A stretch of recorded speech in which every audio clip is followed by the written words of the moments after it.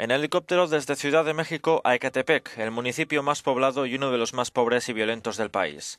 Allí el Papa Francisco ha oficiado una homilía ante cerca de 300.000 fieles en el segundo de los cinco días de su visita a México. El sumo pontífice ha citado las tres tentaciones que rompen la imagen de Dios, la riqueza, la vanidad y el orgullo. Esa, riqueza que es el pan con sabor a dolor, amargura, sufrimiento en una familia o en una sociedad corrupta, ese es el pan que se le da de comer a los propios hijos.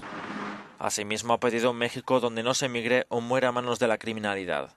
Antes de su llegada a Catepec, el helicóptero en el que viajaba el Papa Francisco sobrevoló la zona arqueológica de Teotihuacán. Este lunes el líder de la Iglesia Católica viajará al estado sureño de Chiapas, el martes al occidental de Michoacán y el miércoles al norteño de Chihuahua, desde donde regresará al Vaticano.